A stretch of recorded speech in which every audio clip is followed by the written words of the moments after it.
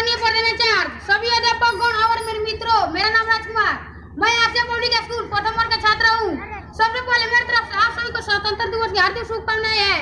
आज हम जो बहत्तरवा स्वतंत्र दिवस मनाने के लिए कृतज्ञ हुए हैं, जो सभी भारतीयों के एक विशेष दिन है। हर साल पंद्रह अगस्त को स्वतंत्र दिवस मनाते हैं। पंद्रह अगस्त उन्नीस सौ सैंतालीस ईस्वी को हमारा देश आज़ाद हुआ था। पंद्रह अगस्त उन्नीस सौ सैंतालीस से पहले हमारे भारत देश को अंग्रेज़ों ने गुलाम बना कर रखा था।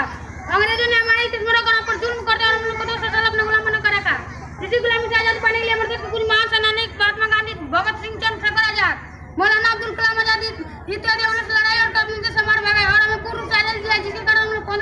पंद्रह पड़ते हैं। और फिर से लोग याद करते हैं। इसके साथ हम लोग वाणी समाप्त करते हैं। जय हिंद, जय भारत।